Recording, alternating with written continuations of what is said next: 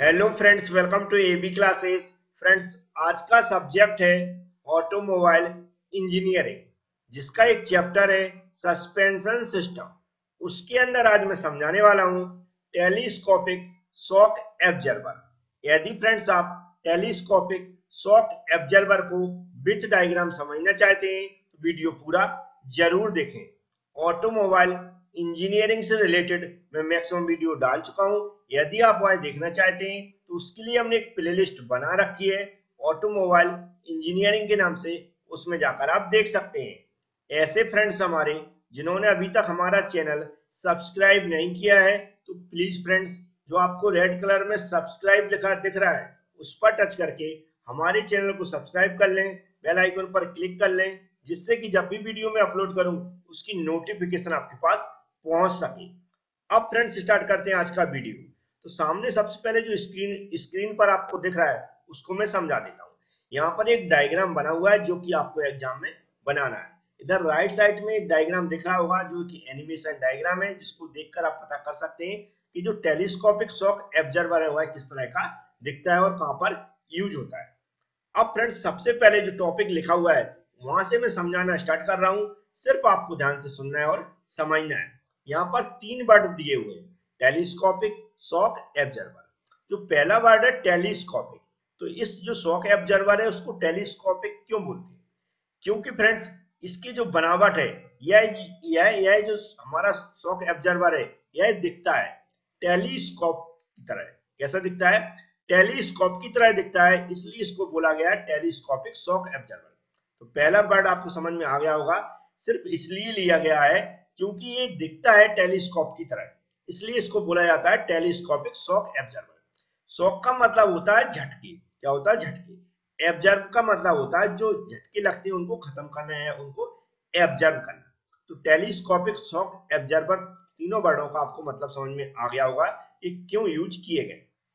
अब फ्रेंड्स बात करते हैं इसकी एनिमेशन की, डायग्राम की इसका कहाँ पर यूज़ किया जाता है या किस टाइप का तो जैसा कि हमने बताया सस्पेंशन सिस्टम का एक टाइप्स होता है। कौन सा? जो शॉक एब्जर्वर शॉक एब्जर्वर भी डिफरेंट टाइप्स के होते हैं, जिसमें मैकेनिकल शॉक एब्जर्वर होते हैं हाइड्रोलिक शॉक एब्जर्वर होते हैं। तो जो हाइड्रोलिक शॉक एब्जर्वर होते हैं, उसका एक टाइप्स है टेलीस्कोपिक शॉक एब्जर्वर तो पहला वर्ड क्या समझ में आया? जो टेलीस्कोपिक शॉक एब्जर्वर है, वह हाइड्रोलिक शॉक एब्जर्वर का टाइप है। मतलब टेलीस्कोपिक शॉक एब्जर्वर भी हाइड्रोलिक के सिद्धांत पर काम करेगा। इतना समझ में आ गया होगा, क्योंकि हाइड्रोलिक शॉक एब्जर्वर का टाइप से टेलीस्कोपिक शॉक एब्जर्वर अब फ्रेंड्स यहाँ पर एक एनिमेशन डायग्राम है, उसके थ्रू थोड़ा सा समझते हैं। तो आपने जो भी बाइक चलाते हो, वहाँ पर देखा होगा, ये आगे इस तरह का लगा रहता है। ठीक है? जो कि हाइड्रोलिक शॉक एब्जर्वर में एब्जर्वर है, उनमें सबसे ज़्यादा टेलीस्कोपिक शॉक एब्जर्वर का यूज़ किया जाता है। तो ऐसा आपने देखा होगा। लेकिन ये देखने से आपको पता चल जाए कि हम क्या समझना चाह रहे हैं और क्या पढ़ाना चाह रहा हूँ। सिर्फ़ इसलिए मैं एनिमेशन डायग्राम दिखाता हूँ। लेकिन क्योंकि वीडियो में मैक्सिमम थ्योरी एग्ज़ाम के पर्पज से बनाता हूँ तो थ्योरी उसी पर्पज से हम समझते हैं। यहाँ पर हमने कुछ थ्योरी लिख रखी है जिसको आपको पढ़ने के लिए। आप इंग्लिश मीडियम से हो या फिर हिंदी मीडियम से हो। इसको पढ़ लेंगे तो आप अपनी भाषा में लिख सकते हैं। यहाँ पर जो लिखा हुआ है, यहाँ पर इसकी जो बनावट है, जो कंस्ट्रक्शन है, उसके बारे में लिखा हुआ है। फिर इसकी वर्किंग भी नीचे में समझाऊँगा। सबसे पहले यहाँ समझते हैं कि किस टाइप का बनता है। तो आपको यहाँ पर दिख रहा होगा, सबसे पहले वर्ड में लिखा हुआ है, यहाँ पर दो सिलेंडर यूज़ किए गए कितने? दो सिलेंडर एक एन सिलेंडर है, एक एम सिलेंडर है। और दोनों एक दूसरे के अंदर रहते हैं। जैसे कि एन सिलेंडर है, उसके अंदर कौन सा रहता है? एम सिलेंडर रहता है। समझिए पहला वर्ड क्या आया? कि दो सिलेंडर यूज़ किए जाते हैं एन सिलेंडर और एम सिलेंडर जिनको नाम दिए गए हैं अपने अकॉर्डिंग ठीक है?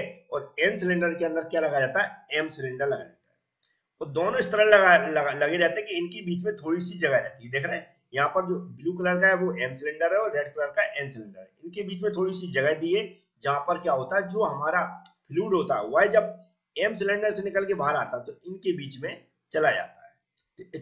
ठीक है? तो इतना आपको समझ में आ गया होगा। अब इसके अंदर और दूसरा कॉम्बिनेशन क्या है जो एम सिलेंडर है उसके नीचे साइड देखेंगे तो दो बाल्ब बने हुए जो स्मॉल ए बना दिख रहा होगा जो हमारा स्मॉल बी दिख रहा होगा। दो पैसेज बने हुए हैं, जिसमें से फ्लूड ऊपर नीचे जा सकता है। इतना समझ में आ गया होगा। और दूसरा इसकी बात करते हैं जो हमारा एम सिलेंडर है। इसके अंदर क्या लगी हुई? पिस्टन लगी हुई। यहाँ देख रहा हूँ पिस्टन लगी हुई, ये वाली।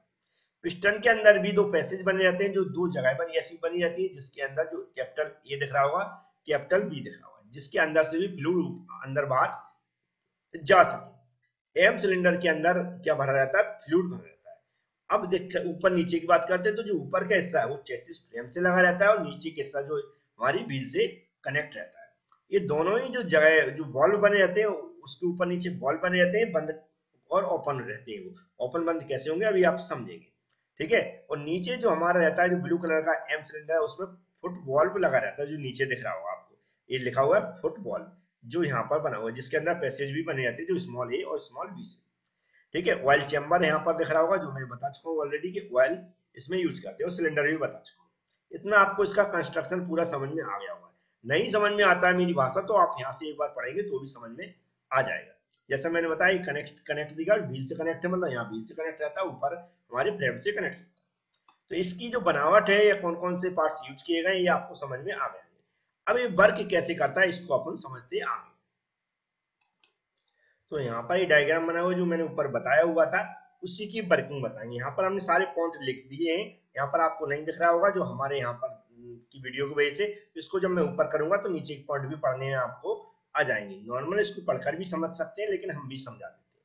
तो जब गाड़ी, जब हमारी गाड़ी चलती है तो जो ब्रेकर होता है ब्रेकर मतलब उभरी हुई ज़मीन, जब उस पर जाती है तो क्या होता है, पहिया से जो हमारे, जो भी हमारे शॉक एब्जर्वर होते हैं, वह क्या होते हैं, दबते हैं।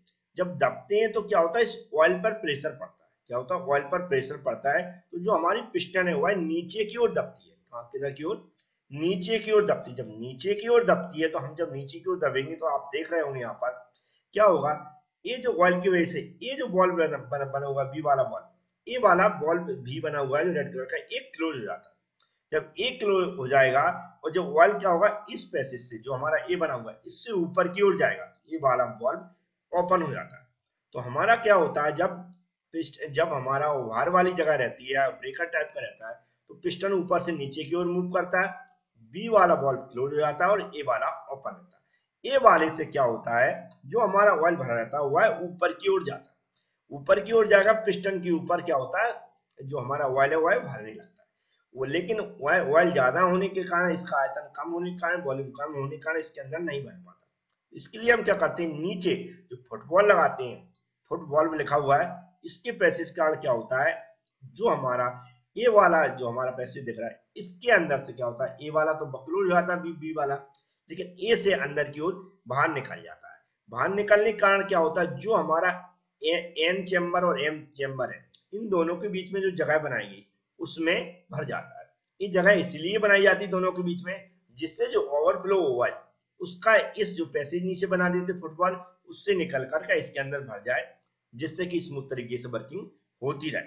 तो आपको ये पैसे दोनों के एम और एन सिलेंडर क्यों यूज़ किए गए, और इनके बीच में जगह क्यों छोड़ी गई, ये समझ में आ गया होगा। जो हमारा एक्स्ट्रा ऑयल है, जो इसके ऊपर से फ्लो होकर जो एक्स्ट्रा जाएगा, वो इस बॉल्ब के थ्रू इन दोनों के बीच में समा सके या आ सके। इसलिए इनके बीच में जगह यूज़ किया।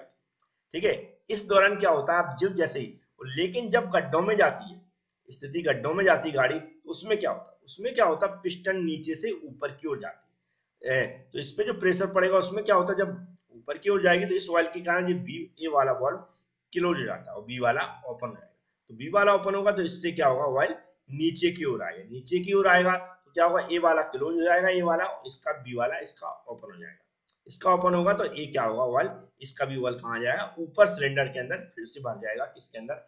एम सिलेंडर के इस तरह ये वर्किंग चलती रहती है।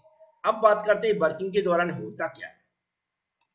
अब फ्रेंड्स ये नीचे वाले पॉइंट है, उनको पढ़ के आप समझ सकते हैं और इनको नोट कर सकते हैं। याद रखें जो भी हिंदी में लिखा हुआ है, यदि आप इंग्लिश मीडियम के स्टूडेंट हैं तो आप अपनी भाषा में इसको लिख लें। सिर्फ़ पॉइंट इसलिए लिखे मैंने, जिससे आप आसानी से पढ़कर समझ सके। अब होता क्या जैसे मैंने बताया, ये जो पूरी प्रोसेस होती है, क्यों होती है? जो स्प्रिंग लगी रहती है स्प्रिंग स्प्रिंग में क्या होता है? जब जैसे झटके लगती है स्प्रिंग क्या वाइब्रेट करती है?